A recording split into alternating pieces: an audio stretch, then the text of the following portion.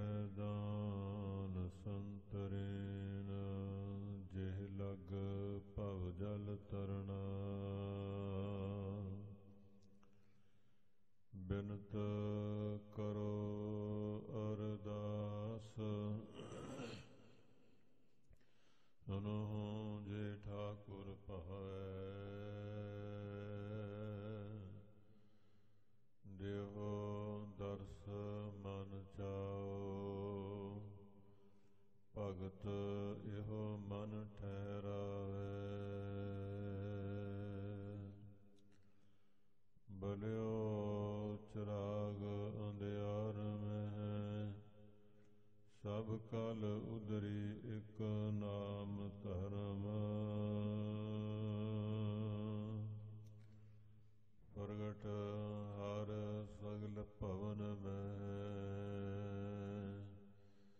ਜਨ ਨਾਨਕ ਗੁਰ ਪਾਰ ਬ੍ਰਹਮ।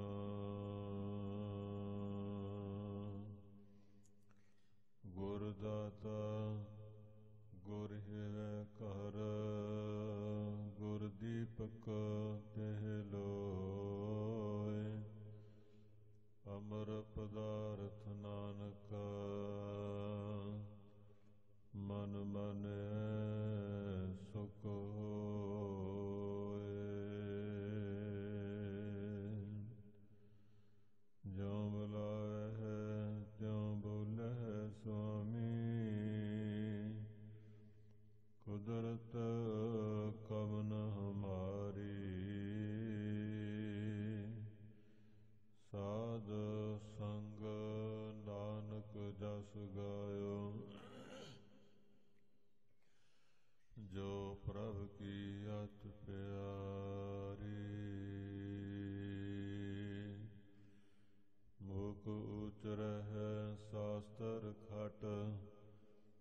ਪਿੰਗ ਗਰਨ ਚੜ ਜਾਏ ਅੰਧ ਲਖੈ ਸੁਨੈ।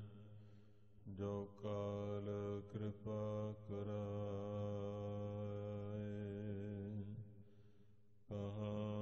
ਤੁਛ ਪ੍ਰਭ ਬੁੱਧ ਹਮਾਰੇ,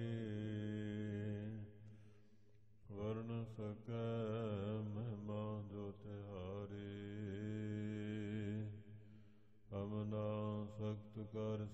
ਤਵਾਰੀ ਆਪ ਲਿਓ ਤਮ ਕਥਾ ਸੁਧਾਰੀ। ਸੁਖ ਕਹੋ ਟਲ ਗੁਰ ਸੇਵੀਐ। ਅਹਨ ਸੋ ਸਹਜ ਸੁਭਾਈ ਦਰਸ਼ਨ ਪਰਸੇ ਗੁਰੂ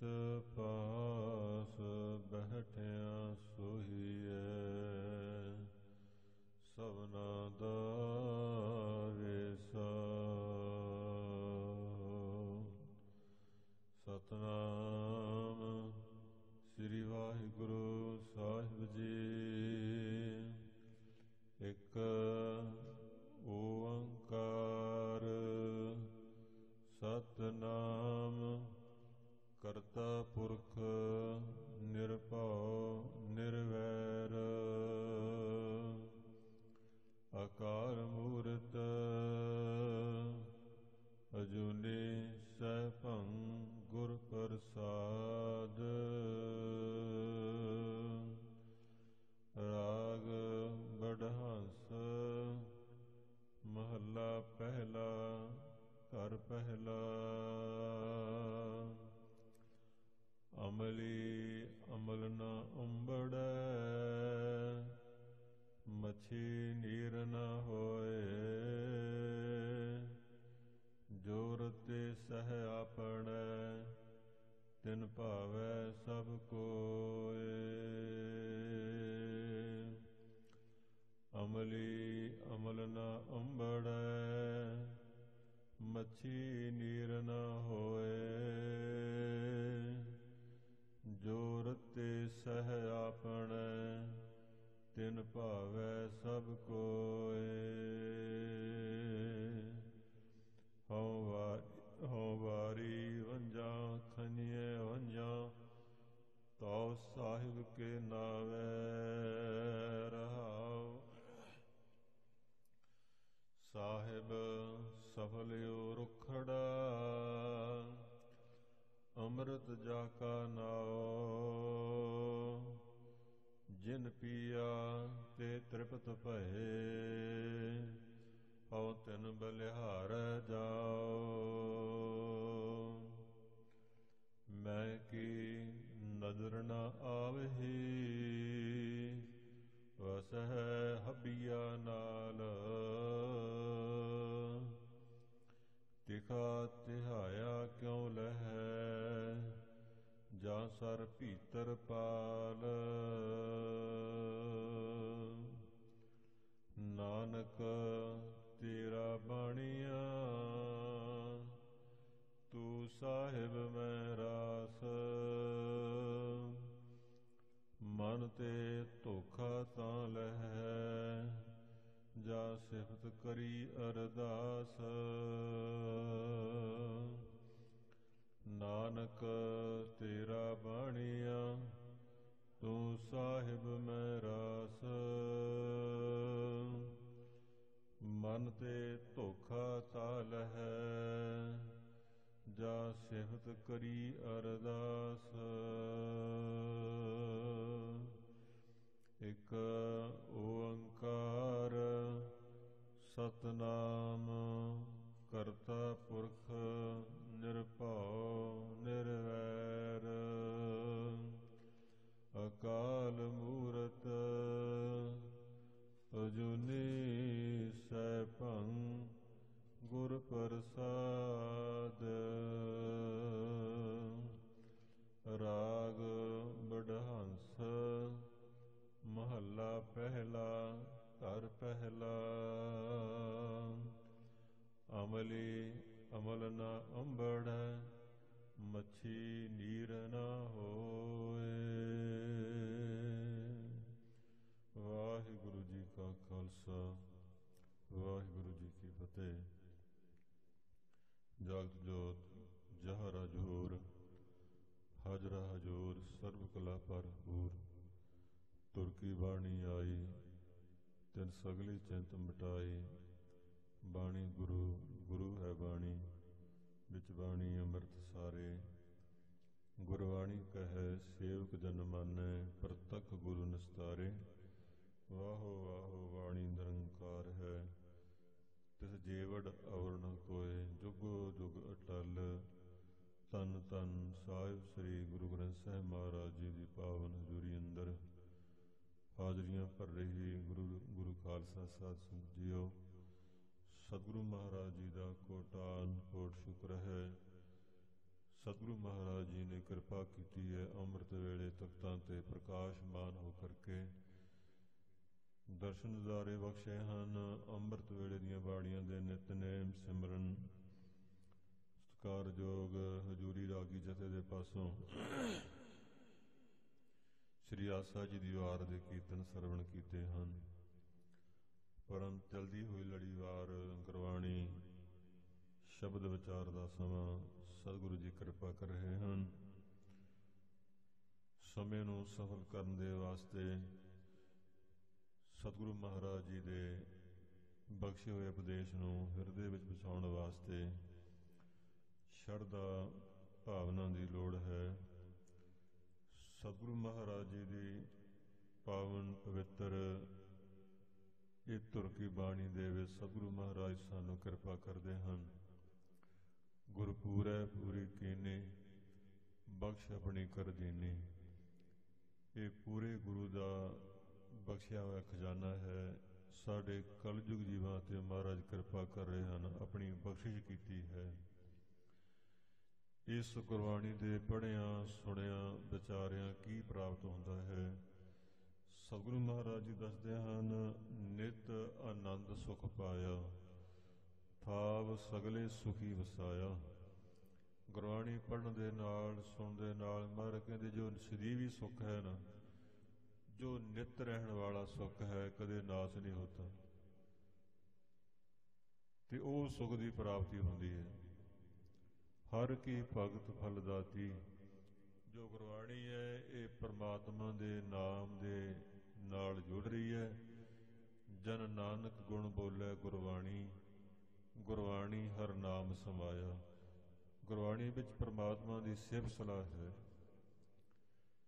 ਵੈਸੇ ਵੀ ਸਾਨੂੰ ਕੋਈ ਪੁੱਛ ਲਵੇ ਵੀ ਸਤਿਗੁਰੂ ਸਾਹਿਬ ਸ੍ਰੀ ਗੁਰੂ ਨਾਨਕ ਦੇਵ ਮਹਾਰਾਜ ਜੀ ਦਾ ਜੋ ਚਲਾਇਆ ਹੋਇਆ ਇਹ ਸਿੱਖ ਪੰਥ ਹੈ ਖਾਲਸਾ ਪੰਥ ਕਹਿ ਲੋ ਨਿਰਮਲ ਪੰਥ ਕਹਿ ਲੋ ਮਾਰਿਆ ਸਿੱਕਾ ਜਗਤ ਵਿੱਚ ਨਾਨਕ ਨਿਰਮਲ ਪੰਥ ਚਲਾਇਆ। ਗੁਰਮੁਖੀ ਭਾਸ਼ਾ ਵਿੱਚ ਆਪਾਂ ਨਿਰਮਲ ਕਹਿੰਦੇ ਆ ਅਤੇ ਅਰਬੀ ਭਾਸ਼ਾ ਵਿੱਚ ਖਾਲਸਾ ਕਿਹਾ ਜਾਂਦਾ ਹੈ। ਖਾਲਸਾ ਪੰਥ ਅਰਥ ਇੱਕੋ ਹੀ ਹੈ। ਸੋ ਭਾਈ ਗੁਰਦਾਸ ਜੀ ਕਹਿੰਦੇ ਨੇ, ਮਾਰਿਆ ਸਿੱਕਾ ਜਗਤ ਵਿੱਚ ਨਾਨਕ ਨਿਰਮਲ ਪੰਥ ਚਲਾਇਆ। ਇਹ ਪੰਥ ਕੀ ਰਸਤਾ ਚਲਾਇਆ ਪ੍ਰਮਾਤਮਾ ਦੀ ਪ੍ਰਾਪਤੀ ਦਾ।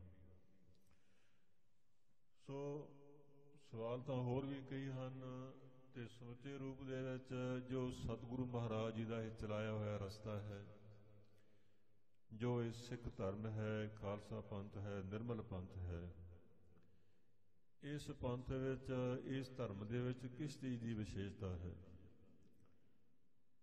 ਸਵਾਲ ਤਾਂ ਸੌਖਾ ਹੀ ਹੈ, ਪਰ ਜੇ ਅਸੀਂ ਕਈ ਵਾਰੀ ਇਸ ਪਾਸੇ ਧਿਆਨ ਨਹੀਂ ਦਿੰਦੇ ਸਾਨੂੰ ਪੁੱਛ ਲਵੇ ਸਾਨੂੰ ਪਤਾ ਹੋਣਾ ਚਾਹੀਦਾ ਹੈ ਵੀ ਜੋ ਸਤਿਗੁਰੂ ਸਾਹਿਬ ਸ੍ਰੀ ਗੁਰੂ ਨਾਨਕ ਦੇਵ ਮਹਾਰਾਜ ਜੀ ਨੇ ਇਹ ਪੰਥ ਚਲਾਇਆ ਨਾ, ਇਸ ਵਿੱਚ ਸਾਰੇ ਜੋ ਵੀ ਗੁਰਬਾਣੀ ਵਿੱਚ ਮਹਾਰਾਜ ਨੇ ਸ਼ਬਦ ਉਚਾਰਨ ਕੀਤੇ ਨੇ, ਇਹ ਪ੍ਰਮਾਤਮਾ ਦੀ ਸਿਫਤ ਸਲਾਹ ਹੈ। ਵਾਹਿਗੁਰੂ ਦੀ ਵਡਿਆਈ ਦਾ ਧਰਮ ਹੈ। ਤੂੰ ਸੱਚਾ ਸਾਹਿਬ ਸਿਫਤ ਸਵਾਲਿਓ ਜਿਨ ਕੀਤੀ ਸੋ ਪਾਰ ਪਿਆ। ਕਹਿੰਦੇ ਜੋ ਇਹ ਧਰਮ ਹੈ, ਸਿੱਖ ਧਰਮ, ਇਹ ਪ੍ਰਮਾਤਮਾ ਦੀ ਵਡਿਆਈ ਦਾ ਧਰਮ ਹੈ। ਉਹਦਾ ਜਸ ਕਰਨਾ ਹੈ। ਜਿਨੇ ਕੀਤੀ ਹੈ, ਉਸ ਤੋਂ ਪਾਰ ਹੋ ਗਿਆ। ਇਸ ਲਈ ਮਹਾਰਾਜ ਕਹਿੰਦੇ, ਹਰ ਕੀ ਭਗਤ ਫਲ ਦਾਤੀ। ਜੋ ਗੁਰਬਾਣੀ ਹੈ, ਕਹਿੰਦੇ ਇਹ ਪ੍ਰਮਾਤਮਾ ਦਾ ਨਾਮ ਸਿੱਖ ਦੇ ਹਿਰਦੇ ਵਿੱਚ, ਜਿਹੜਾ ਵਾਹਿਗੁਰੂ ਗੁਰ ਮੰਤਰ ਹੈ ਨਾ, ਵਾਹਿਗੁਰੂ ਗੁਰ ਮੰਤਰ ਹੈ ਜਪ ਹੋਵੇਂ ਕੋਈ ਜਪਜੀ ਸਾਹਿਬ ਦੇ ਪਾਠ ਕਰੀਏ, ਸ੍ਰੀ ਸੁਖਮਨੀ ਸਾਹਿਬ ਜੀ ਦੇ ਪਾਠ ਕਰੀਏ, ਸਹਿਜ ਪਾਠ ਕਰੀਏ, ਮੂਲ ਮੰਤਰ ਪੜ੍ਹੀਏ। ਪਰ ਜੋ ਸਾਡੀ ਸਿੱਖ ਦੇ ਸਾਧ ਸੰਗਤ, ਜੋ ਅਖੀਰਲੀ ਸਟੇਜ ਹੈ ਨਾ, ਜੋ ਅਖੀਰਲੀ ਅਵਸਥਾ ਹੈ, ਉਹ ਹੈ ਵਾਹਿਗੁਰੂ ਗੁਰਮੰਤਰ। ਵਾਹਿਗੁਰੂ ਗੁਰਮੰਤਰ ਤੱਕ ਪੁੱਜਣ ਵਾਸਤੇ ਪੁਨਾ ਪੁਨਾ ਗੁਰਬਾਣੀ ਦਾ ਅਭਿਆਸ ਹੈ। ਤੇ ਉਸ ਉਸ ਨੂੰ ਮਾਰੇ ਕਹਿੰਦੇ ਆ, ਵਾਹੋ ਵਾਹੋ, ਬਾਣੀ ਨਿਰੰਕਾਰ ਹੈ। ਵਾਹੋ ਕੀ ਹੈ ਪਰਮੇਸ਼ਰ, ਅਚਰਜ ਰੂਪ। ਉਹ ਨਿਰੰਕਾਰ ਦਾ ਜੋ ਵਾਹ ਕੀ ਅਚਰਜ ਸਰੂਪ ਹੈ ਨਾ, ਉਹ ਵਾਹਿਗੁਰੂ ਗੁਰਮੰਤਰ ਹੈ। ਸੋ ਮਹਾਰਾਜ ਕਹਿੰਦੇ, ਹਰ ਕੀ ਭਗਤ ਫਲ ਦਾਤੀ। ਕਹਿੰਦੇ ਜੋ ਗੁਰਬਾਣੀ ਆ ਨਾ, ਕਹਿੰਦੇ, ਇਹ ਵਾਹਿਗੁਰੂ ਗੁਰਮੰਤਰ ਵਿੱਚ ਸਿੱਖ ਦੀ ਅਵਸਥਾ ਨੂੰ ਉੱਥੇ ਜਾ ਕੇ ਜਿਹੜੀ ਸਾਡੀ ਸੁਰਤ ਹੈ, ਉਸ ਵਿੱਚ ਲੀਨ ਹੋ ਜਾਂਦੀ ਹੈ। ਜਦੋਂ ਅਸੀਂ ਮੁੜ ਮੁੜ ਕੇ ਗੁਰਬਾਣੀ ਪੜਾਂਗੇ ਵਿਚਾਰਾਂਗੇ ਨਾ ਫਿਰ ਮਹਾਰਾਜ ਕਹਿੰਦੇ ਗੁਰ ਪੂਰੇ ਕਿਰਪਾ ਕਰ ਦੇਨੇ ਬਿਰਲੇ ਕਿ ਨਹੀਂ ਜਾਤੀ? ਪਰ ਪੂਰਾ ਗੁਰੂ ਕਿਰਪਾ ਕਰੇ ਤੇ ਵਿਰਲੇ ਵਿਰਲੇ ਕਹਿੰਦੇ, ਫਿਰ ਇਸ ਅਵਸਥਾ ਦੇ ਧਾਰਨੀ ਹੁੰਦੇ ਹਨ। ਤੇ ਮਹਾਰਾਜ ਕਹਿੰਦੇ ਨੇ, ਗੁਰਬਾਣੀ ਗਾਵਹਿ ਭਾਈ। ਕਹਿੰਦੇ ਇਹ ਭਾਈ, ਗੁਰਬਾਣੀ ਗਾਓ। ਫਿਰ ਪ੍ਰਾਪਤ ਕੀ, ਮਹਾਰਾਜ ਕਹਿੰਦੇ, ਪ੍ਰਾਪਤ ਕੀ ਹੋਏਗਾ? ਉਹ ਸਫਲ ਸਦਾ ਸੁਖਦਾਈ। ਗੁਰਬਾਣੀ ਪੜ੍ਹਨੀ ਮਹਾਰਾਜ ਕਹਿੰਦੇ, ਸਫਲੀ ਹੈ, ਸਹਿਤ ਫਲਦੇ ਹੈ। ਤੇ ਸੁਖ ਦੇਣ ਵਾਲੀ ਹੈ। ਸੁਖ ਵੀ ਦੁਨਿਆਵੀ ਦਾ ਦਿੰਦੀ ਹੈ ਤੇ ਪਰਮਾਰਥ ਜਿਹੜਾ ਅਸਲੀ ਸੜਾ ਸੁਖ ਹੈ ਨਾ ਸਦੀਵੀ ਸੁਖ ਹੈ, ਉਹ ਗੁਰਬਾਣੀ ਪੜ੍ਹ ਕੇ ਪ੍ਰਾਪਤ ਹੁੰਦਾ ਹੈ। ਗੁਰਬਾਣੀ ਗਾਵਹਿ ਭਾਈ, ਉਹ ਸਫਲ ਸਦਾ ਸੁਖਦਾਈ ਮਰ ਕਹਿੰਦੇ ਨਾਨਕ ਨਾਮ ਤੇ ਆਇਆ, ਪੂਰਬ ਲਿਖਿਆ ਪਾਇਆ। ਕਹਿੰਦੇ ਇਹ ਗੁਰੂ ਦੀ ਕਿਰਪਾ ਦੇ ਨਾਲ ਗੁਰਬਾਣੀ ਦੁਆਰਾ ਇਹ ਕਹਿੰਦੇ ਮਹਾਰਾਜ ਕਹਿੰਦੇ ਸਾਨੂੰ ਨਾਮ ਦੀ ਪ੍ਰਾਪਤੀ ਹੋਈ ਹੈ। ਭਾਈ ਗੁਰਦਾਸ ਜੀ ਨੂੰ ਪੁੱਛੀ ਆਪਾਂ ਤਾਂ ਭਾਈ ਗੁਰਦਾਸ ਜੀ ਵੀ ਇਹ ਗੱਲ ਕਹਿੰਦੇ ਹਨ, ਕਹਿੰਦੇ, ਗੁਰਮੂਰਤ ਗੁਰ ਸ਼ਬਦ ਹੈ। ਗੁਰੂ ਦੀ ਮੂਰਤ ਕੀ ਜੋ ਹੋਂਦ ਹਸਤੀ ਹੈ, ਜੋ ਗੁਰੂ ਦਾ ਸਰੂਪ ਹੈ ਨਾ, ਉਹ ਗੁਰੂ ਦਾ ਉਪਦੇਸ਼ ਹੈ। ਕਹਿੰਦੇ, ਗੁਰਮੂਰਤ ਗੁਰ ਸ਼ਬਦ ਹੈ। ਤੇ ਹੈ ਕਿੱਥੇ ਹੈ? ਸਾਧ ਸੰਗ ਆਸਣ ਨਿਰੰਕਾਰੀ। ਉਹ ਨਿਰੰਕਾਰ ਦਾ ਜੋ ਆਸਣ ਹੈ ਨਾ, ਕਹਿੰਦੇ ਉਹ ਸਾਧ ਸੰਗ ਦੇ ਵਿੱਚ ਹੈ। ਫਿਰ ਕਹਿੰਦੇ ਜਿਹੜੇ ਗੁਰਸਿੱਖ ਨੇ ਆਦ ਪੁਰਖ ਆਦੇਸ਼ ਕਰ, ਅੰਮ੍ਰਿਤ ਵੇਲਾ ਸ਼ਬਦ ਆਹਾਰੀ। ਜਿਹੜੇ ਗੁਰਸਿੱਖ ਨੇ ਕਹਿੰਦੇ ਅੰਮ੍ਰਿਤ ਵੇਲੇ ਉਹ ਸ਼ਬਦ ਦਾ ਅਭਿਆਸ ਕਰਦੇ ਆ। ਆਦ ਪੁਰਖ ਆਦ ਪੁਰਖ ਵਾਹਿਗੁਰੂ ਪਰਮੇਸ਼ਰ, ਅਕਾਲ ਪੁਰਖ, ਆਦ ਪੁਰਖ ਆਦੇਸ਼ ਕਰ, ਅੰਮ੍ਰਿਤ ਵੇਲਾ ਸ਼ਬਦ ਆਹਾਰੀ। ਕਹਿੰਦੇ ਉਹ ਅੰਮ੍ਰਿਤ ਵੇਲੇ ਸ਼ਬਦ ਦਾ ਭੋਜਨ ਛਕਦੇ ਇਸ ਲਈ ਸਤਿਗੁਰੂ ਪਾਤਸ਼ਾਹ ਮਹਾਰਾਜ ਜੀ ਕਿਰਪਾ ਕਰਦੇ ਹਨ। ਬਖਸ਼ਿਸ਼ ਕਰਦੇ ਹਨ। ਇਹ ਸਾਡੇ ਗੁਰੂ ਦਾ ਇਸ਼ਟ ਹੈ। ਜੋ ਸਾਡੇ ਗੁਰੂ ਸਹਿਬਾਨਾਂ ਨੇ ਸਾਨੂੰ ਇਹ ਉਪਦੇਸ਼ ਬਖਸ਼ਿਆ ਹੈ, ਸਤਿਗੁਰੂ ਪਾਤਸ਼ਾਹ ਮਹਾਰਾਜ ਜੀ ਦਾ ਜਦੋਂ ਆਪਾਂ ਇਹ ਭਾਵ ਜਿਹੜਾ ਹੈ ਨਾ ਪੜਾਂਗੇ ਵਿਚਾਰਾਂਗੇ, ਸਤਿਗੁਰੂ ਮਹਾਰਾਜ ਜੀ ਨੇ ਆਪਣੇ ਜੀਵਨ ਵਿੱਚ ਗੁਰਬਾਣੀ ਨੂੰ ਇੱਕ ਤਿਲ ਮਾਤਰ ਵੀ ਨਹੀਂ ਵਿਸਾਰਿਆ। ਵੀ ਕਦੇ ਤਾਂ ਭੁਲਾਇਆ ਹੋਵੇ ਮਹਾਰਾਜ, ਕਹਿੰਦੇ ਨਹੀਂ। ਇਥੋਂ ਸਿੱਧ ਹੁੰਦਾ ਹੈ ਵੀ ਸਤਿਗੁਰੂ ਮਹਾਰਾਜ ਜੀ ਹਰ ਵੇਲੇ ਗੁਰਬਾਣੀ ਵਿੱਚ ਤਦਾ ਕਰ ਰਹਿੰਦੇ ਸਨ। ਮਹਾਰਾਜ ਨੇ ਹਮਾਰੀ ਪਿਆਰੀ ਅੰਮ੍ਰਿਤ ਧਾਰੀ ਗੁਰ ਨਿਮਕ ਨਾ ਮਨ ਤੇ ਟਾਰੀ ਰੇ ਕਿ ਸਾਤੋਂ ਸਭ ਤੋਂ ਪਿਆਰੀ ਕੀ ਚੀਜ਼ ਹੈ? ਮਹਾਰਾਜ ਨੇ ਆਪਣੇ ਮਾਤਾ, ਪਿਤਾ, ਭੈਣ, ਭਰਾ ਕੋਈ ਹੋਰ ਸਾਖ ਸੰਬੰਧੀ ਨੂੰ ਪਿਆਰਾ ਨਹੀਂ ਕਿਹਾ। ਮਹਾਰਾਜ ਨੇ ਹਮਾਰੀ ਪਿਆਰੀ ਅੰਮ੍ਰਿਤ ਧਾਰੀ ਗੁਰ ਨਿਮਕ ਨਾ ਮਨ ਤੇ ਟਾਰੀ ਰੇ ਜੋ ਗੁਰਬਾਣੀ ਹੈ ਮਹਾਰਾਜ ਸਾਡੀ ਇਹ ਪਿਆਰੀ ਹੈ ਮਹਾਰਾਜ ਕਹਿੰਦੇ, ਜੋ ਅੰਮ੍ਰਿਤ ਧਾਰੀ ਜਿਹਦੇ ਵਿੱਚ ਅੰਮ੍ਰਿਤ ਪਰਮੇਸ਼ਰ ਦਾ ਨਾਮ ਹੈ, ਅੰਮ੍ਰਿਤ ਨਾਮ ਪਰਮੇਸ਼ਰ ਤੇਰਾ, ਜੋ ਸਿਮਰੈ ਸੋ ਜੀਵ। ਹੈ ਅੰਮ੍ਰਿਤ ਬਾਣੀ ਹਰ ਹਰ ਤੇਰੀ, ਸੁਣ ਸੁਣ ਹੋਵੇ ਪਰਮਗਤ ਮੇਰੀ, ਜਲਨ ਬੂਝੀ ਸ਼ੀਤਲ ਹੋਏ ਮਨੁਆ, ਸਤਗੁਰ ਕਾ ਦਰਸ਼ਨ ਪਾਏ ਜੀਓ ਸੋ ਮਹਾਰਾਜ ਕਹਿੰਦੇ, ਅੰਮ੍ਰਿਤ ਹਮਾਰੀ ਪਿਆਰੀ, ਅੰਮ੍ਰਿਤ ਧਾਰੀ, ਗੁਰ ਨਿਮਖ ਨਾ ਮਨ ਤੇ ਟਾਰੀ ਰੇ, ਕਿ ਨਿਮਖ ਸਾਸਾਂ ਜੀ ਹੁੰਦਾ, ਆਪਾਂ ਅੱਖ ਝਮਕਦੇ ਆ ਕਹਿੰਦੇ, ਇਤਨਾ ਵੀ ਸਮਾਂ ਮਹਾਰਾਜ ਨੇ ਗੁਰਬਾਣੀ ਨੂੰ ਕਦੀ ਵਿਸਾਰਿਆ ਨਹੀਂ। ਗੁਰ ਨਿਮਖ ਨਾ ਮਨ ਤੇ ਟਾਰੀ ਰੇ, ਫਿਰ ਕਹਿੰਦੇ, ਜਿਹੜੇ ਗੁਰਬਾਣੀ ਨੂੰ ਪੜ੍ਹਦੇ ਨੇ, ਸੁਣਦੇ ਨੇ, ਵਿਚਾਰਦੇ ਨੇ, ਹਰ ਵੇਲੇ ਗੁਰਬਾਣੀ ਵਿੱਚ ਮਨ ਕਰਕੇ ਖੁੱਬੇ ਰਹਿੰਦੇ, ਫਿਰ ਮਾਰ ਕਹਿੰਦੇ, ਦਰਸ਼ਨ, ਪਰਸਨ, ਸਰਸਨ, ਹਰਸਨ। ਹਰ ਰੰਗ ਰੰਗੀ ਕਰਤਾਰੀ ਰੇ, ਕਹਿੰਦੇ, ਦਰਸ਼ਨ ਕਰਕੇ ਨਾ ਸੁਰਤ ਨਾਲ ਪਰਸਨ ਸਪਰਸ਼ ਕਰਕੇ ਫਿਰ ਸਦੀਵੀ ਪ੍ਰਸੰਨਤਾ ਮਿਲਦੀ ਹੈ। ਦਰਸ਼ਨ, ਪਰਸਨ, ਸਰਸਨ, ਹਰਸਨ, ਸਰਸਨ ਹੁੰਦਾ ਸਹਿਤ ਰਸ ਦੇ। ਨੌ ਤਰ੍ਹਾਂ ਦੇ ਰਸ ਬਣੇ ਗ੍ਰੰਥਾਂ ਵਿੱਚ, ਤੇ ਵਿਦਵਾਨਾਂ ਨੇ ਹੋਰ ਵੱਖਰੇ ਵੱਖਰੇ ਜਿਹੜੇ ਰਸਾਂ ਦੀ ਗੱਲ ਵੀ ਕਰੀ ਹੈ। ਪਰ ਗੁਰਬਾਣੀ ਵੀ ਸਤਿਗੁਰੂ ਮਹਾਰਾਜ ਕਹਿੰਦੇ ਨੇ, ਰਸ ਸੋਇਨਾ, ਰਸ ਰੂਪਾ ਕਾਮਣ, ਰਸ ਪਰਮਲ, ਰਸ ਮਾਸ, ਰਸ ਸੇਜਾ ਰਸ ਘੋੜਾ, ਮੰਦਰ, ਰਸੀ ਮਿੱਠਾ, ਰਸ ਮਾਸ, ਇਹ ਤੇ ਰਸ ਰੀਜ ਕੇ ਕੜ ਕਟ ਨਮ ਨਿਵਾਸ, ਇਹ ਰਸ ਮੰਨੇ ਨੇ ਵੀ ਸੋਨਾ, ਚਾਂਦੀ, ਹੋਰ ਖਾਣ ਪਾਣ ਵਾਲੀਆਂ ਚੀਜ਼ਾਂ ਅਤੇ ਹੰਡਾਉਣ ਵਾਲੀਆਂ ਚੀਜ਼ਾਂ, ਇਹ ਰਸ ਮੰਨੇ ਇਹ ਤੇ ਰਸ ਸਰੀਰਕ ਹੈ ਕਹਿ ਕਟ ਨਾਮ ਨਿਵਾਸ। ਪਰ ਜੋ ਅਸਲੀ ਰਸ ਹੈ, ਉਹ ਮਾਰ ਕਹਿੰਦੇ, ਉਹ ਹੈ ਸਰਸਨ ਦਰਸ਼ਨ, ਪਰਸਨ ਸਰਸਨ ਹਰਸਨ, ਉਹ ਹੈ ਪ੍ਰਮਾਤਮਾ ਦੇ ਨਾਮ ਦਾ ਰਸ। ਤੇ ਮਹਾਰਾਜ ਕਹਿੰਦੇ, ਇਹ ਰਸ ਸਾਡੇ, ਉਹ ਰਸ ਭਾਵਾ, ਇਹ ਰਸ ਪੀਵਿਆ ਉਹ ਰਸ ਨਹੀਂ ਭਾਵਾ, ਇਹ ਪ੍ਰਮਾਤਮਾ ਦੇ ਨਾਮ ਦਾ ਰਸ ਵੀ ਮਹਾਰਾਜ ਕਹਿੰਦੇ ਗੁਰਬਾਣੀ ਵਿੱਚੋਂ ਹੀ ਆਉਣਾ ਹੈ। ਗੁਰਬਾਣੀ ਵਿੱਚ ਸਾਧ ਸੰਗਤ ਜੀ, ਇਹ ਨਾਮ ਦਾ ਰਸ ਆਏਗਾ। ਕਿਤੋਂ ਹੋਰ ਰਸ ਨਹੀਂ ਆਉਣਾ? ਹੈ ਆਪਾਂ ਨਿਤ ਹੀ ਪੜਦੇ ਆਂ। ਥਾਲ ਵਿੱਚ ਤਿੰਨ ਵਸਤੂ ਪਈਓ, ਸਤ ਸੰਤੋਖ ਵਿਚਾਰੋ। ਅੰਮ੍ਰਿਤ ਨਾਮ ਠਾਕੁਰ ਕਾ ਪਇਓ, ਜਿਸ ਕਾ ਸਭ ਆਧਾਰੋ। ਤੋ ਸਭ ਦਾ ਆਸਰਾ ਹੈ, ਜੇ ਕੋ ਖਾਵੇ, ਜੇ ਕੋ ਪਹੁੰਚੈ, ਤਿਸ ਕਾ ਹੋਏ ਉਧਾਰੋ। ਤਮ ਸੰਸਾਰ ਚੰਨ ਲਗ ਤਰੀਏ ਸਭ ਨਾਨਕ ਬ੍ਰਹਮ ਪਸਾਰੋ। ਸੋ ਇਹ ਨਾਮ, ਸਾਧ ਸੰਗਤ ਜੀ ਦਾ ਨਾਮ ਦਾ ਰਸ ਹੈ ਨਾ, ਉਹ ਸਾਨੂੰ ਗੁਰਬਾਣੀ ਦੁਆਰਾ ਪ੍ਰਾਪਤ ਹੋਣਾ ਹੈ। ਸ਼੍ਰੀ ਸੁਖਮਨੀ ਸਾਹਿਬ ਜੀ ਦੇ ਵਿੱਚ ਨਾ ਜਿਹੜੀ ਅਖੀਰਲੀ ਅਸ਼ਟਪਦੀ ਹੈ, ਉਹਦੇ ਵਿੱਚ ਪੌੜੀ ਆਉਂਦੀ ਹੈ ਇੱਕ। ਉਸ ਪੌੜੀ ਵਿੱਚ ਸਾਧ ਸੰਗਤ ਜੀ ਸ਼ਾਇਦ 19 ਗੁਣ ਲਿਖਿਆ ਗੁਰਬਾਣੀ ਦੇ ਮਹਾਰਾਜ ਨੇ। ਵਿਦਿਆ, ਤਪ ਜੋ ਪ੍ਰਭ ਧਿਆਨ, ਗਿਆਨ, ਸ੍ਰੇਠ, ਉਤਮ ਇਸ਼ਨਾਨ। ਇਸ ਕਰਕੇ ਉਹ ਸਾਰੀ ਉਹੀ ਵਿਆਖਿਆ ਹੈ ਕਿ ਇਹ ਸਾਰਾ ਕੁਝ ਹੀ ਗੁਰਬਾਣੀ ਪੜ੍ਹ ਕੇ ਪ੍ਰਾਪਤ ਹੁੰਦਾ ਹੈ। ਦਰਸ਼ਨ, ਪਰਸਨ, ਸਰਸਨ, ਹਰਸਨ ਤੇ ਮਹਾਰਾਜ ਕਹਿੰਦੇ ਹਾਂ ਰੰਗ ਰੰਗੀ ਕਰਤਾਰੀ ਰੇ ਕਹਿੰਦੇ, ਪ੍ਰਮਾਤਮਾ ਕਰਤਾਰ ਦੇ ਰੰਗ ਵਿੱਚ ਰੰਗੀ ਹੋਈ। ਗੁਰੂ ਦੀ ਬਾਣੀ ਹੈ। ਮਹਾਰਾਜ ਕਹਿੰਦੇ ਖਿਨ ਰਮ ਗੁਰਗਮ, ਹਰਦਮ ਨਹਿ ਜਮ ਹਰ ਨਾਨਕ ਕੰਠ ਉਰਹਾਰੀ ਹੈ। ਕਹਿੰਦੇ ਖਿਨ ਰਮ ਖਿਨ ਹੁੰਦਾ ਉਹੀ ਮੁੜ ਕੇ ਆਪਾਂ ਅੱਖ ਝਮਕਦੇ ਆ ਇਹਨੂੰ ਖਿਨ ਕਹਿੰਦੇ ਆ ਸੁੱਕਾ ਅੱਖ ਦਾ ਢੱਕਦਾ ਪੱਤਾ ਹੋਏ, ਸੂਈ ਮਾਰਦੀ ਹੈ, ਉਹਨੂੰ ਖਿਨ ਕਹਿੰਦੇ ਆ। ਇਤਨਾ ਸਮਾਂ, ਕਹਿੰਦੇ ਖਿਨ ਰਾਮ। ਕਹਿੰਦੇ ਖਿਨ ਜਨਾ ਸਮਾਂ ਵੀ ਨਾ ਕੋਈ ਚਿਤ, ਜੇ ਕਿਤੇ ਇੱਕ ਚਿਤ ਜੇ ਐਕਸ਼ਨ ਤੇ ਆਇਓ, ਕਾਲ ਫਾਸ ਕੇ ਬੀਜ ਨਾ ਆਇਓ। ਭਗਤ ਨਾਮਦੇਵ ਜੀ ਕਹਿੰਦੇ ਆ, ਟੁਕ ਦਮ ਕਰਾਰੀ ਜਾਓ ਕਰੋ, ਹਾਜ਼ਰ ਹਜੂਰ ਖੁਦਾਏ। ਟੁਕ ਹੁੰਦਾ ਅੱਧਾ ਦਮ ਹੁੰਦਾ ਸਵਾਸ। ਕਹਿੰਦੇ ਅੱਧਾ ਸਵਾਸ ਵੀ ਨਾ ਕਿਤੇ ਅਟ ਸਾਡਾ ਮਨ ਕਿਤੇ ਖੁੱਭ ਜਾਵੇ ਗੁਰਬਾਣੀ ਵਿੱਚ। ਹਾਜ਼ਰ ਹਜੂਰ ਖੁਦਾਏ ਕਹਿੰਦੇ, ਪ੍ਰਮਾਤਮਾ ਹਾਜ਼ਰ ਹਜੂਰ ਹੈ। ਭਾਈ ਗੁਰਦਾਸ ਜੀ ਵੀ ਇਹ ਗੱਲ ਕਹਿੰਦੇ ਹਨ। ਕਹਿੰਦੇ, ਆਪ ਗਵਾਏ ਮਿਲੇ ਪਲ ਅੱਧਾ। ਅੱਧਾ ਪਲ ਕਹਿੰਦੇ ਆ ਸਾਧ ਸੰਗਤ ਜੀ। ਇਹ ਇਸ਼ਾਰੇ ਨੇ। ਇਹ ਕਿਉਂਕਿ ਇਸੇ ਕਰਕੇ ਮਹਾਰਾਜ ਕਹਿੰਦੇ ਆ, ਇਸ ਜੇ ਪਾਸ਼ਾ ਵੀ ਸੰਗਤ ਹਰ ਪ੍ਰਭ ਵਸੈ ਜੀਓ।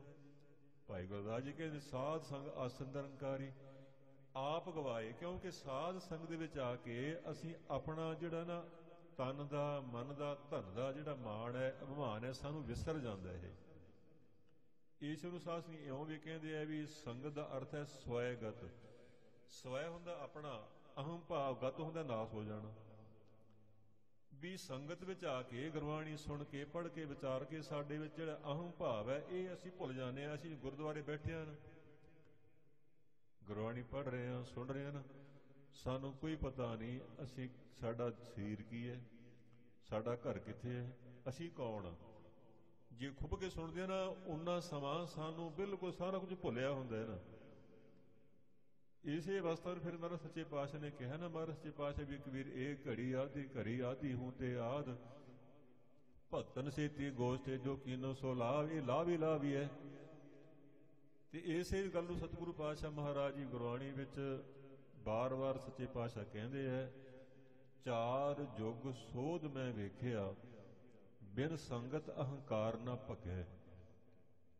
ਚਾਰ ਯੁੱਗ ਸਮਾਂ ਯੁੱਗ ਨੂੰ ਸਮਝਦਾ ਹੈ। ਇਤਨਾ ਲੰਮਾ ਸਮਾਂ ਇਹ ਜੀਵ ਭਰਮਣ ਕਰਦਾ ਹੈ ਪਰ ਕਹਿੰਦੇ ਬਿਨਾ ਪੂਰੇ ਗੁਰੂ ਦੀ ਸੰਗਤ ਕਰਿਆ ਇਹ ਅਹੰਕਾਰ ਨਹੀਂ ਦੂਰ ਹੁੰਦਾ, ਕਿਉਂਕਿ ਇਹ ਤੇ ਸਵਾਏਗਤ ਸੰਗਤ ਆਪਣਾ ਆਪ ਜੇ ਕਿਤੇ ਮਿਟੇਗਾ, ਉਹ ਸੰਗਤ ਵਿੱਚ ਹੀ ਮਿਟੇਗਾ ਕਿ।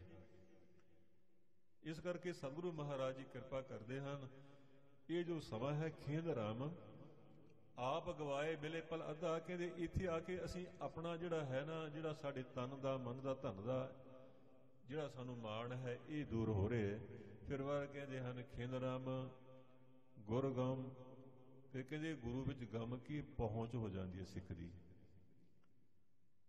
ਕਿਸੇ ਦੁ- ਦੁਨਿਆਵੀ ਬੰਦੇ ਨਾਲ ਸਾਡੀ ਇੱਛਾ ਹੋਵੇ ਵੀ ਸਾਡਾ ਇਹ ਮੇਰਾ ਮਿੱਤਰ ਹੋਵੇ, ਮੇਰੀ ਨਾਲ ਦੋਸਤੀ ਹੋਵੇ, ਚੰਗਾ ਕੋਈ ਇਨਸਾਨ ਹੋਵੇ ਨਾ ਆਪਾਂ ਚਾਹੁੰਦੇ ਆ ਕਿਸੇ ਨਾਲ ਦੋਸਤੀ ਪਾਉਣ ਵਾਸਤੇ ਇਹ ਇੱਕ ਦੁਨਿਆਵੀ ਗੱਲ ਹੈ ਵੀ ਉਸ ਬੰਦੇ ਦੇ ਨਾਲ ਜਿਹਦੇ ਆਪਣੀ ਦੋਸਤੀ ਪਾਉਣਾ ਚਾਹੁੰਦੇ ਆ ਨਾ, ਉਹਦੇ ਵਰਗੇ ਸਾਡੇ ਵਿੱਚ ਸੁਭਾਅ ਗੁਣ ਹੋਣੇ ਚਾਹੀਦੇ ਹੈ ਇਹ ਗ੍ਰੰਥਾਂ ਵਿੱਚ ਹੀ ਵਿਚਾਰ ਆਉਂਦੀ ਆ, ਆਸਾ, ਇਸ਼ਟ, ਉਪਾਸਨਾ, ਖਾਨ ਪਹਿਨ ਪਹਿਰਾਨ।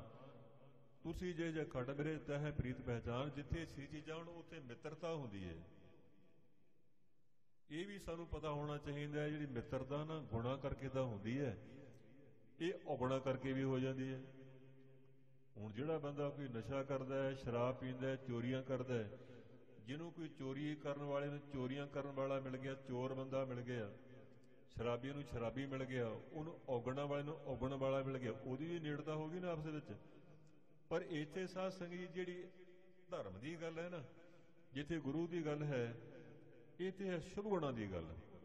ਤੇ ਮਹਾਰਾਜ ਸੱਚੇ ਪਾਤਸ਼ਾਹ ਕਹਿੰਦੇ ਨੇ, ਸਾਂਝ ਕੀਜੇ ਹੈ ਗੁਣਾ ਘੇਰੀ ਛਾੜ ਅਵਗੁਣ ਚੱਲੀ ਹੈ।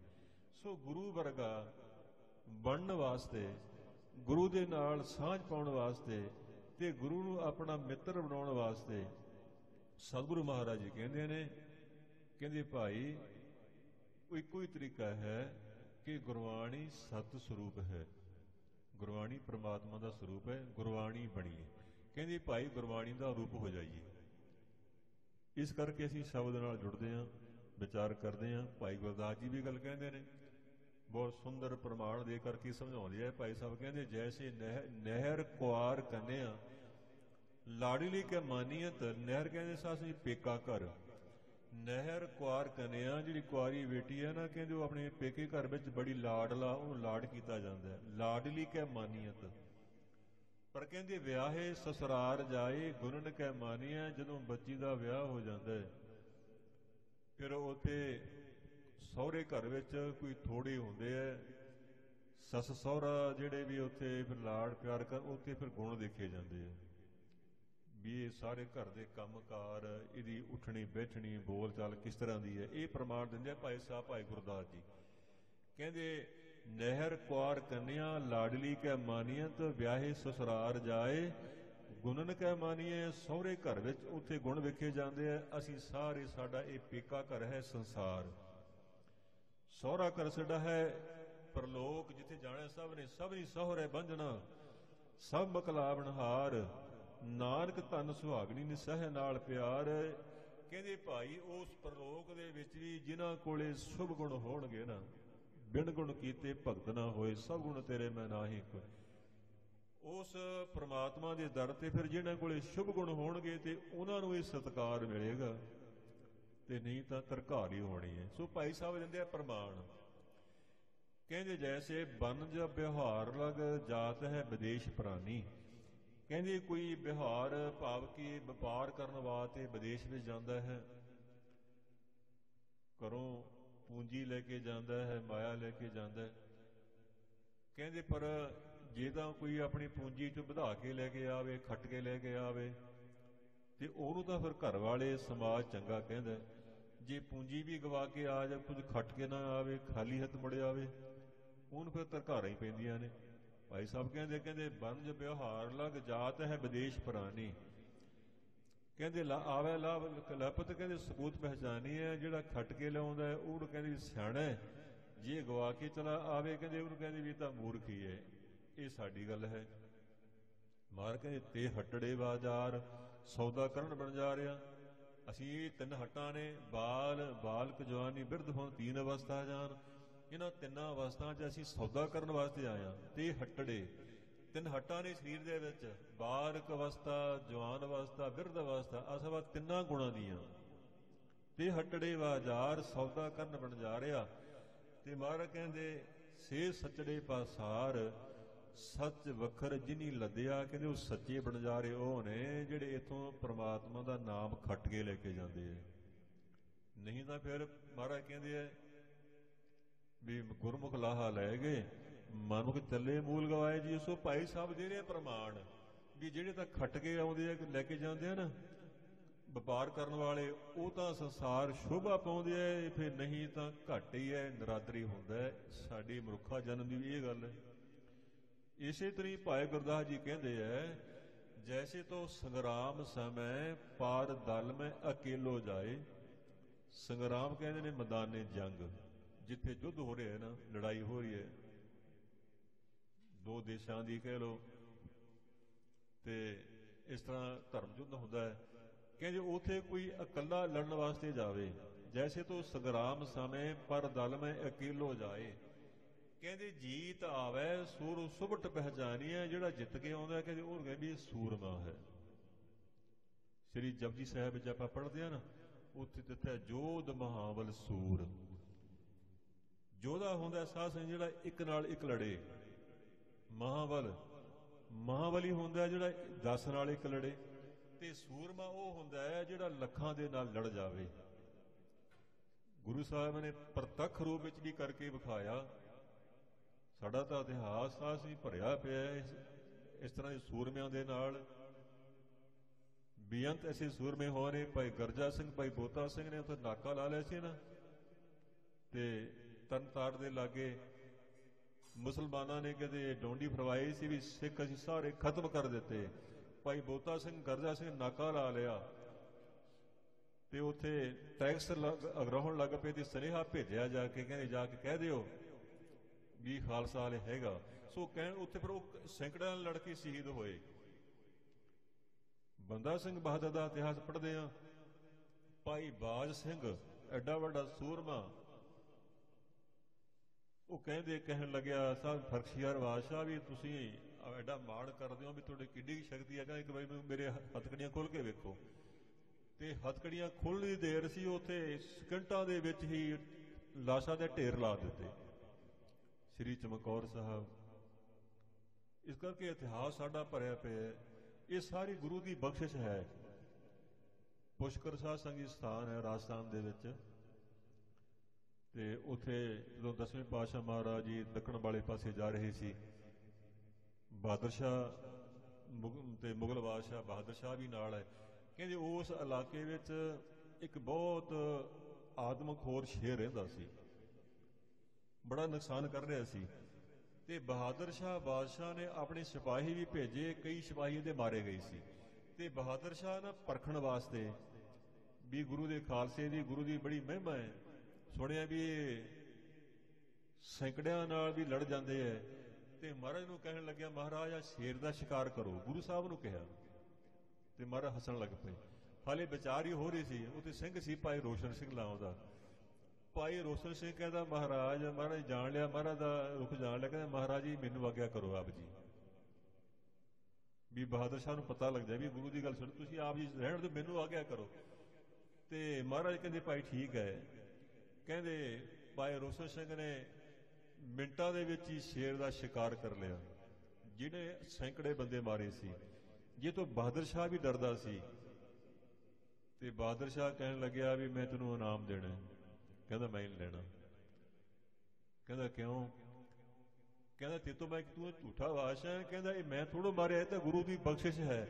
ਸੋ ਕਹਿਣ ਤੋਂ ਭਾਵ ਸਤਿਗੁਰੂ ਮਹਾਰਾਜ ਨੇ ਕਿਹਾ ਨਾ ਵੀ ਗਿੱਦੜੋਂ ਸੇ ਮੈਂ ਸ਼ੇਰ ਬਣਾਉਂ, ਸਵਾ ਲਾਖ ਸੇ ਇੱਕ ਲੜਾਉਂ ਤਵੇ ਗੋਬਿੰਦ ਸਿੰਘ ਨਾ ਕੋ ਸੋ ਕਹਿਣ ਤੋਂ ਭਾਵ ਤਿੱਥੇ ਜੋਧ ਮਹਾਵਲ ਸੂਰ, ਅੰਤਰੀ ਭਾਵ ਦੇ ਵਿੱਚ ਹੈ ਜਿਨੇ ਗੁਰੂ ਕਾ ਅੰਮ੍ਰਿਤ ਛਕ ਲਿਆ, ਆਪਣੇ ਸਰੀਰ ਨੂੰ ਬਚਾ ਕੇ ਰੱਖਿਆ ਕਰਹਿਤਾਂ ਤੋਂ। ਜਿਹੜੀਆਂ ਚਾਰ ਵਜਰ ਕਰਹਿਤਾਂ ਨੇ ਨਾ, ਇਹਨਾਂ ਚਾਰ ਇਹ ਵਜਰਾਂ ਕਰਿਆ ਤੋਂ ਬਚ ਕੇ ਰਿਹਾ। ਹਾਲੇ ਮਨ ਕਰਕੇ ਤਾਂ ਨਹੀਂ ਕਾਇਮ ਹੋਇਆ, ਪਰ ਸਰੀਰ ਬਚਿਆ ਹੋਇਆ ਕਿ ਕਹਿੰਦੇ ਉਹ ਤਾਂ ਜੋਧ ਹੈ। ਤੇ ਮਹਾਵਲੀ ਕਹਿੰਦੇ ਕੌਣ ਹੈ?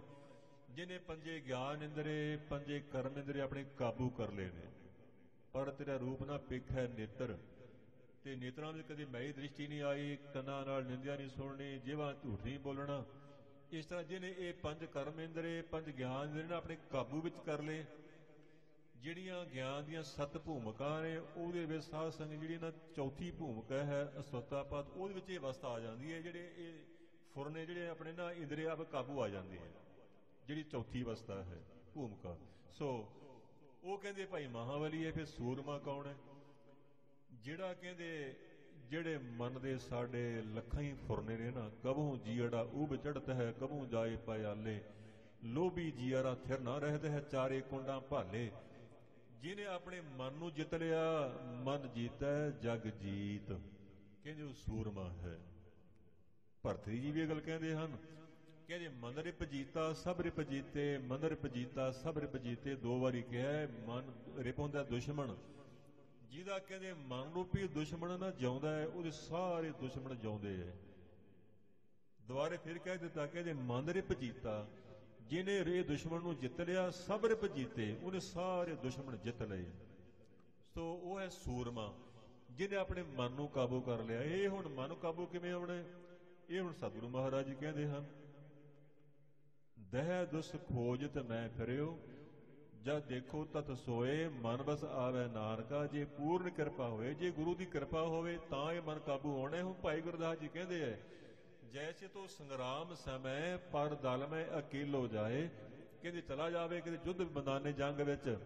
ਕਹਿੰਦੇ ਜੀਤ ਆਵੇ, ਸੋ ਸੂਰ ਸੁਭਟ ਹੈ ਕਹਿੰਦੇ ਉਹ ਸੂਰਮਾ ਮੰਨਿਆ ਜਾਂਦਾ ਵੀ ਇਹ ਸੂਰਮਾ ਹੈ। ਅਖੀਰ ਵਿੱਚ ਕਹਿੰਦੇ ਨੇ, ਕਹਿੰਦੇ ਇਸ ਤਰ੍ਹਾਂ ਹੀ ਕਹਿੰਦੇ ਭਾਈ ਸਾਹਿਬ ਕਹਿ ਰਹੇ ਐ ਕਹਿੰਦੇ ਮਾਨਸ ਜਨਮ ਪਾਏ ਚਰਨ ਸ਼ਰਨ ਗੁਰ, ਕਹਿੰਦੇ ਮਨੁੱਖਾ ਜਨਮ ਬਾਰ-ਬਾਰ ਨਹੀਂ ਮਿਲਣਾ, ਕਹਿੰਦੇ ਪੂਰੇ ਗੁਰੂ ਦੀ ਸ਼ਰਨ ਵਿੱਚ ਆ ਜਾ, ਕਹਿੰਦੇ ਸਾਧ ਸੰਗ ਮਿਲ ਗੁਰਦੁਆਰ ਪਹਿਚਾਨੀਐ ਸਾਧ ਸੰਗ ਵਿੱਚ ਆ ਕੇ ਗੁਰੂ ਦੁਆਰਾ ਆਪਣੇ ਸਰੂਪ ਦੀ ਪਹਿਚਾਣ ਕਰ, ਆਪਣੇ ਸਰੂਪ ਨੂੰ ਜਾਣ ਸੋ ਖਿੰਨ ਰਾਮ ਗੁਰ ਗਮ ਜਿਹੜੇ ਖਿੰਨ ਜਿਹਨਾਂ ਸਮਾਂ ਵੀ ਗੁਰਬਾਣੀ ਨੂੰ ਪੜ੍ਹਦੇ ਆ, ਉਹ ਗੁਰੂ ਵਿੱਚ ਗਮਤਾ ਪਹੁੰਚ ਹੋ ਜਾਂਦੀ ਹੈ। ਹਰ ਦਮ, ਹਰ ਵੇਲੇ ਸਵਾਸ ਸਿਮਰਨ ਕਰਦੇ ਆ, ਬਾਣੀ ਪੜ੍ਹਦੇ ਨਹਿ ਜਮ। ਉਹਨਾਂ ਦੇ ਨੇੜੇ ਜਮ ਨਹੀਂ ਆ ਸਕਦਾ। ਹਰ ਨਾਰ ਕੰਠ ਉਰ ਹਾਰੀ ਰੇ। ਤੇ ਮਹਾਰਾਜ ਕਹਿੰਦੇ, ਮੈਂ ਆਪਣੇ ਕੰਠ ਵਿੱਚ ਇਹ ਬਾਣੀ ਨੂੰ ਵਸਾਇਆ ਹੋਇਆ ਸੋ ਵਿਚਾਰ ਹੈ ਵੀ ਗੁਰਬਾਣੀ ਸਤਿਗੁਰੂ ਮਹਾਰਾਜ ਕਹਿੰਦੇ ਹਨ, ਇਹ ਗੁਰੂ ਦਾ ਸਰੂਪ ਹੈ। ਸਤਿਗੁਰੂ ਮਹਾਰਾਜ ਜੀ ਕਿਰਪਾ ਕਰ ਰਹੇ ਨੇ। ਅੱਜ ਦਾ ਜੋ ਪਾਵਨ ਸ਼ਬਦ ਹੈ, ਪਿਛੇ ਸਾਧ ਸੰਗਤ ਜੀ ਬਿਹਾਗੜੀ ਦੀ ਵਾਰ ਸਮਾਪਤੀ ਹੋਈ ਹੈ। ਅਗੋ 557 ਅੰਗ ਉੱਪਰ ਤੇ ਬੜਹਾਂਸਾ ਰਾਗ ਸ਼ੁਰੂ ਹੋ ਰਿਹਾ ਹੈ। ਪਹਿਲਾਂ ਸਾਧ ਸੰਗਤ ਜੀ ਮੰਗਲ ਹੈ, ਜੋ ਗੁਰੂ ਗ੍ਰੰਥ ਸਾਹਿਬ ਜੀ 33 ਵਾਰ ਆਉਂਦਾ ਹੈ। ਇੱਕ ਓੰਕਾਰ ਸਤਨਾਮ, ਕਰਤਾ ਪੁਰਖ ਨਿਰਭਉ ਨਿਰਵੈਰ ਅਕਾਰ ਮੂਰਤ ਅਜੂਨੀ ਸਹਿ ਗੁਰ ਪ੍ਰਸਾਦ। ਬਹੁਤ ਹੀ ਵਿਸਥਾਰ ਨਾਲ ਸਾਧ ਸੰਗਤ ਜੀ ਇਹਦੀ ਵਿਆਖਿਆ ਹੈ ਮੂਲ ਮੰਤਰ ਦੀ। ਸੋ ਸੰਖੇਪ ਨਾਲ ਜੋ ਅਰਥ ਹਨ, ਇੱਕ ਅਦੁੱਤੀ ਵਾਹਿਗੁਰੂ ਪਰਮੇਸ਼ਰ। ਅਦੁੱਤੀ ਤੋਂ ਭਾਵ ਹੈ ਆਪਣਾ ਸਿੱਖ ਧਰਮ ਕੀ ਹੈ? ਆਪਾਂ ਨੂੰ ਪੁੱਛ ਲਏ ਨਾ ਵੀ ਸਿੱਖ ਧਰਮ ਦੀ ਪਰਿਭਾਸ਼ਾ ਕੀ ਹੈ? ਅਦੁੱਤੀ, ਉਦਵਾਇਤ, ਭਾਵ ਕਿ ਦੂਜਾ ਪੜਨੀ ਅਸੀਂ ਇੱਕ ਦੇ ਪੁਜਾਰੀ ਹਾਂ। ਜਿਹੜਾ ਇੱਕ ਸ਼ਬਦ ਸਾਧ ਸੰਗ ਜੀ ਇਹ ਸਾਧ ਸੰਗ ਦੀ ਸੰਖਿਆ ਵਾਚਕ ਨਹੀਂ ਹੈ ਇਹ ਸੰਖਿਆ ਵਾਚਕ ਹੈ। ਭਾਵ ਕਿ ਪ੍ਰਮਾਤਮਾ ਇੱਕ ਹੈ। ਕਿਉਂਕਿ ਕਈ ਚੀਜ਼ਾਂ ਹੈਗੀਆਂ ਬ੍ਰਹਮੰਡ ਵਿੱਚ, ਜਿਵੇਂ ਕਈ ਐਸੀਆਂ ਚੀਜ਼ਾਂ ਹੈਗੀਆਂ ਵੀ ਇੱਕ ਬ੍ਰਹਮੰਡ ਵਿੱਚ ਇੱਕੋ ਹੀ ਹੈ। ਤੇ ਜਿਵੇਂ ਹੁਣ ਮਾਰ ਕਹਿੰਦੇ ਤਾਂ ਅਨੇਕ ਸਾਧ ਸੰਗ ਲੱਖਾਂ ਹੀ ਸੂਰਜ ਨੇ, ਲੱਖਾਂ ਚੰਦਰਮਾ ਨੇ, ਪਰ ਸੂਰਜ ਇੱਕੋ ਰੁੱਤ ਅਨੇਕ ਵੀ ਇੱਕ ਬ੍ਰਹਮੰਡ ਵਿੱਚ ਇੱਕੋ ਸੂਰਜ ਹੈ ਇੱਕ ਚੰਦਰਮਾ ਹੈ। ਇਸ ਤਰ੍ਹਾਂ ਹੀ ਹਿਮਾਲਿਆ ਪਰਬਤ ਇੱਕੋ ਹੀ ਹੈ ਨਾ। ਤੇ ਇਸੇ ਤਰ੍ਹਾਂ ਜਿਹੜੇ ਸਮੁੰਦਰ ਨੇ ਵੀ ਇੱਕੋ ਹੀ ਸਮੁੰਦਰ ਹੈ, ਜਿਹੜਾ ਵੀ ਸਮੇਰ ਪਰਬਤ ਇੱਕੋ ਹੀ ਹੈ। ਜਿਹੜਾ ਖੀਰ ਸਮੁੰਦਰ ਇੱਕੋ ਹੀ ਹੈ ਨਾ, ਉੱਥੇ ਉਹ ਇੱਕ ਇੱਕ ਹੋਰ ਵੀ ਬਹੁਤ ਚੀਜ਼ਾਂ ਇੱਕ ਹੋ ਸਕਦੀਆਂ ਨੇ, ਪਰ ਇੱਥੇ ਹੈ ਅਦੁੱਤੀ। ਪਰਮਾਤਮਾ ਵਿੱਚ ਦੂਜਾ ਪਣ ਹੈ, ਉਹ ਅਦੁੱਤੀ ਅਦਵਾਇਤ ਹੈ। ਸਾਡਾ ਧਰਮ ਹੀ ਅਦਵੈਤ ਹੈ। ਇਸੇ ਸਾਸੇ ਇੱਕ ਦੇ ਅਸੀਂ ਪੁਜਾਰੀ ਹਾਂ, ਇੱਕ ਨੂੰ ਮੰਨਣ ਵਾਲੇ ਹਾਂ ਤੇ ਇਸੇ ਕਰਕੇ ਫਿਰ ਸਤਿਗੁਰੂ ਮਹਾਰਾਜ ਜੀ ਸੱਚੇ ਪਾਤਸ਼ਾਹ ਜੀ ਕਿਰਪਾ ਕਰਦੇ ਨੇ ਕਹਿੰਦੇ, ਐਸੇ ਇੱਕ ਦੀ ਤੂੰ ਪੂਜਾ ਕਰ। ਜਦੋਂ ਇੱਕ ਦੀ ਪੂਜਾ ਕਰੇਗਾ ਨਾ ਮਨ ਕਰਕੇ, ਉਹ ਤੇਰੀ ਪੂਜਾ ਕਦੇ ਵਿਅਰਥੀ ਨਹੀਂ ਜਾਏਗੀ। ਮਹਾਰਾਜ ਸੱਚੇ ਪਾਤਸ਼ਾਹ ਕਿਰਪਾ ਕਰਦੇ ਨੇ। ਘਾਲਣਾ ਭਾਨੈ, ਅੰਤਰ ਵਿੱਚ ਤਾਂ ਕੀ ਕਰ ਮਨ ਸੇਵਾ?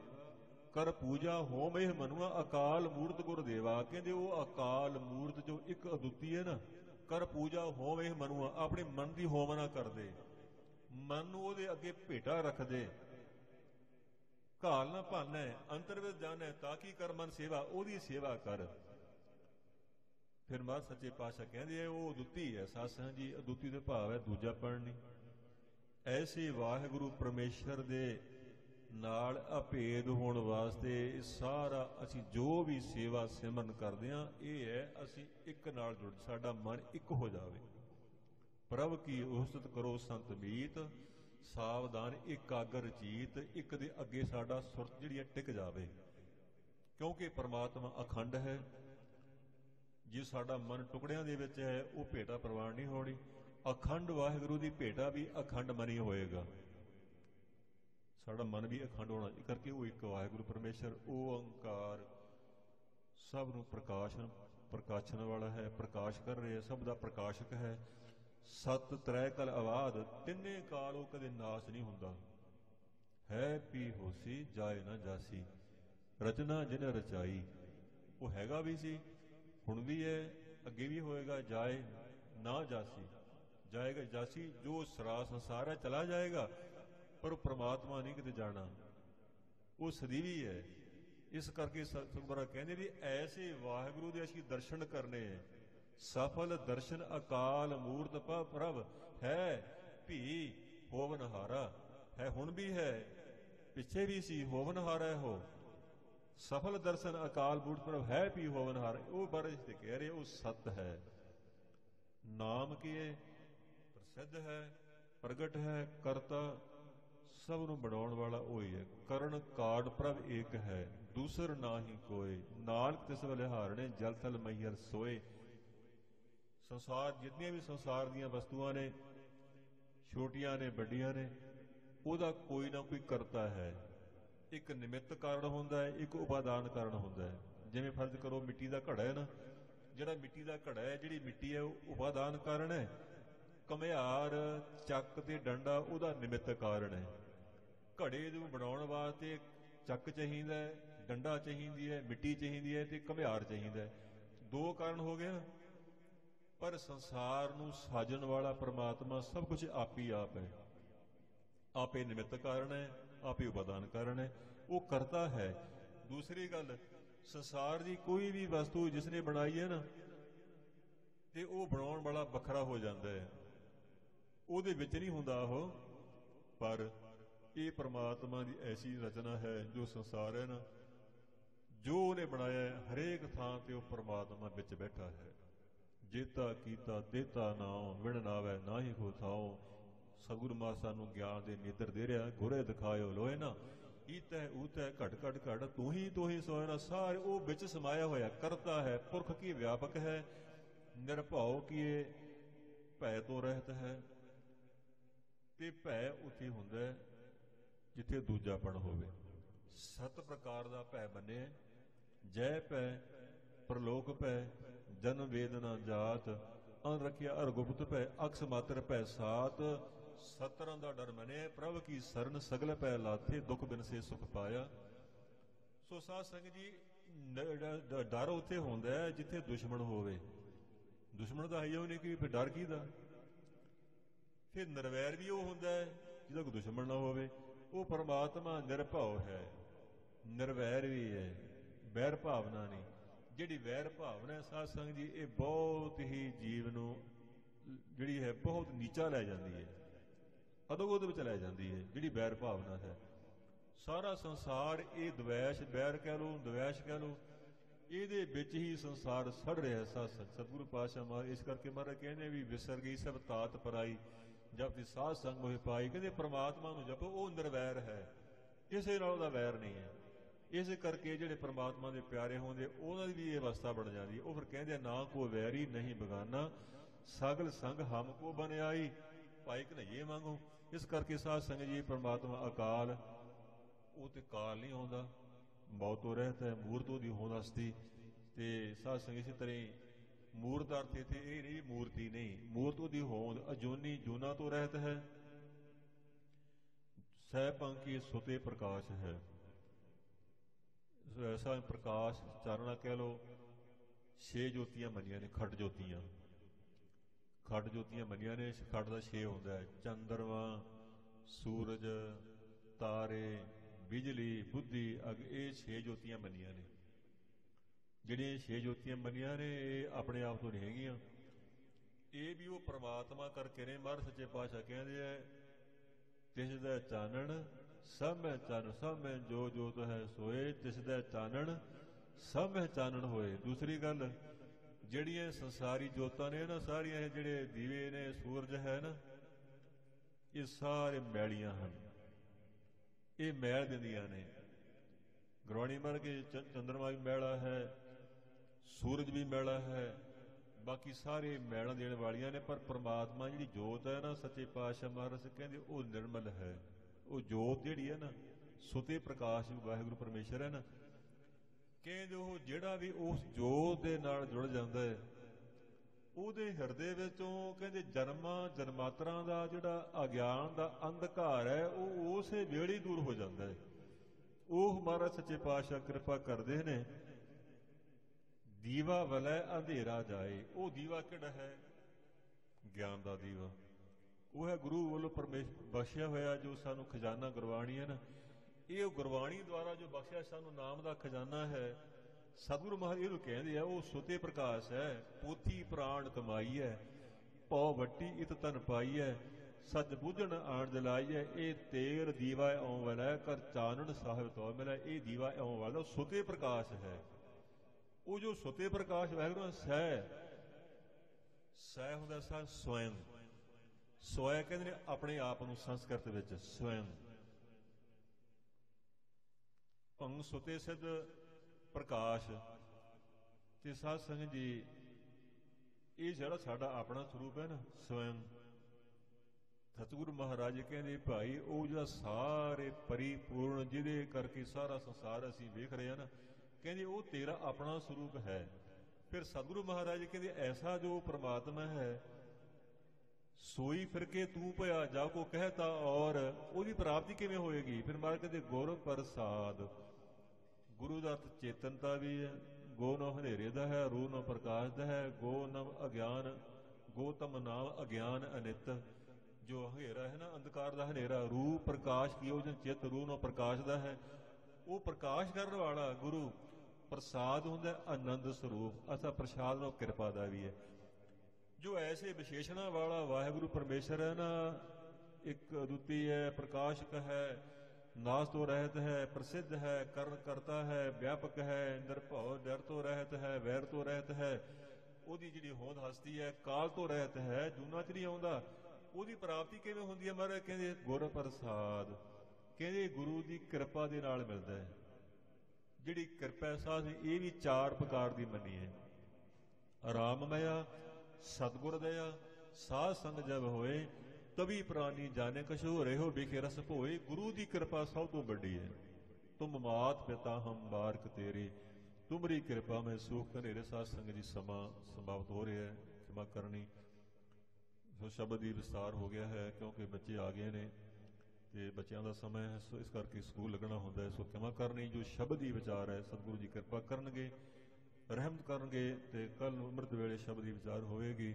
ਸੋ ਹੁਣ ਸਾਸੀ ਇੱਥੇ ਸਮਾਪਤੀ ਹੈ, ਜੋ ਆਪਣੇ ਮੰਗਲ ਆਇਆ ਹੈ ਗੁਰਬਾਣੀ ਦਾ, ਇਹ ਸਾਸੀ ਮੰਗਲ ਦੀ ਅਖਰੀ ਆਪਾਂ ਅਰਥ ਕੀਤੇ ਹਨ। ਸਤਿਗੁਰੂ ਜੀ ਰਹਿਮਤ ਕਰਨ, ਜੋ ਗੁਰਮਤਿ ਦੀਆਂ ਵਿਚਾਰਾਂ ਹਨ, ਜੋ ਗੁਰਬਾਣੀ ਦੀ ਸਿੱਖਿਆ ਹੈ, ਸਤਿਗੁਰੂ ਸਿੱਖੀ ਸਿੱਖਿਆ, ਗੁਰੂ ਵਿਚਾਰ ਨਦਰੀ ਕਰਮ ਲਗਾਏ ਪਰ, ਅਸੀਂ ਗੁਰੂ ਦੀ ਕਿਰਪਾ ਦੇ ਪਾਤਰ ਬਣੀਏ। ਸਾਡੇ ਜਿਹੜੇ ਹਿਰਦੇ ਰੂਪੀ ਭਾਂਡੇ ਹੈ ਮਲੀਨ ਹਨ। ਇਹ ਭਾਂਡਿਆਂ ਨੂੰ ਸੁੱਧ ਕਰਨ ਵਾਸਤੇ ਇਹੀ ਯਤਨ ਹੈ, ਭਾਂਡਾ ਧੋਏ, ਵੈਸਤੂ ਦੇਵੋ ਤੋ ਦੁੱਧੇ ਕੋ ਜਾਵੋ। ਸਾਡੇ ਹਿਰਦੇ ਰੂਪੀ ਭਾਂਡਿਆਂ ਨੂੰ ਸਵੱਛ ਕਰਨ ਵਾਸਤੇ ਗੁਰੂ ਦਾ ਉਪਦੇਸ਼ ਹੈ ਜੀ। ਇੱਥੇ ਹੀ ਸਮਾਪਤੀ ਹੈ, ਵਿਚਾਰ ਕਰਦਿਆਂ ਹੋਇਆਂ ਬੇਅੰਤ ਪੁੱਲਾ ਹੋ ਜਾਂਦੀਆਂ ਹਨ ਜੀ। ਖਿਮਾ ਕਰਨੀ, ਇੱਕ ਓੰਕਾਰ ਸਤਨਾਮ ਕਰਤਾ ਪੁਰਖ ਨਿਰਭਉ ਨਿਰਵੈਰ, ਅਕਾਲ ਮੂਰਤ ਜੋਨੀ ਸਹਿ ਭੰਗੁਰ ਪ੍ਰਸਾਦ, ਰਾਗ ਬਡਹੰਸ ਮਹਲਾ ਪਹਿਲਾ ਕਰ ਪਹਿਲਾ। ਅਮਲੀ ਅਮਲ ਨ ਅੰਬੜੈ, ਮਛੀ ਨੀਰ ਨ ਹੋਏ। ਜੋ ਰਤੇ ਸਹਿ ਆਪਣੇ, ਤਨ ਪਾਵੈ ਸਭ ਕੋਏ। ਵਾਹਿਗੁਰੂ ਜੀ ਕਾ ਖਾਲਸਾ, ਵਾਹਿਗੁਰੂ ਜੀ ਕੀ ਫਤਿਹ। ਹੈ ਚੌਥੇ ਹੈ ਪਾਰ ਬ੍ਰਹਮ, ਅਵਨਾਸੀ ਅਗਨਾਸ। ਹੇ ਪੂਰਨ, ਹੈ ਸਰਬ, ਮੈਂ ਦੁਖ ਭੰਜਨ ਗੁਣਤਾਸ ਹੇ ਸੰਗੀ, ਹੈ ਨਿਰੰਕਾਰ, ਹੀ ਨਿਰਗੁਣ ਸਭ ਟੇਕ। ਹੇ ਗੋਬਿੰਦ, ਹੈ ਗੁਣ ਦਾਨ ਜਾ ਕੇ ਸਦਾ ਵਿਵੇਕ। ਹੇ ਅਪਰੰਪਰ, ਹਰ ਹਰੇ, ਹੈ ਪੀ ਹੋਵਨ ਹਾਰ। ਇਹ ਸੰਤ ਕੈ ਸਦਾ ਸੰਗ ਨਿਧਾਰਾਂ ਆਧਾਰ। ਹੈ ਠਾਕੁਰ ਹਉਦਾ ਸਰੋ ਮੈਂ ਨਿਰਗੁਣ ਗੁਣਨੀ ਕੋਏ। ਨਾਨਕ ਦੀ ਜੈ ਨਾਮ ਦਾਨ ਰਾਖੋ ਹੀ ਹੈ ਪਰੋਏ। ਆਏ ਪ੍ਰਭ ਸਰਣਾਗਤੀ, ਕਿਰਪਾ ਨਿਧ ਦਇਆਲ ਏਕ ਅੱਖਰ ਹਰਮਨ ਵਸਤ, ਨਾਨਕ ਹੋਤ ਨਿਹਾਲ। ਵਾਹਿਗੁਰੂ ਨਾਮ ਜਹਾਜ ਹੈ ਚੜੇ ਸੋ ਤਰੇ ਪਾਰ। ਜੋ ਸ਼ਰਦਾ ਕਰ ਸੇਵ ਦੇ, ਗੁਰ ਪਾਰ ਉਤਾਰਨ ਹਾਰ। ਜੋ ਸ਼ਰਦਾ ਕਰ ਸੇਵ ਦੇ ਗੁਰ ਪਰ ਤਰਨਹਾਰ ਵਾਹਿਗੁਰੂ ਜੀ ਕਾ ਖਾਲਸਾ, ਵਾਹਿਗੁਰੂ ਜੀ ਕੀ ਫਤਿਹ।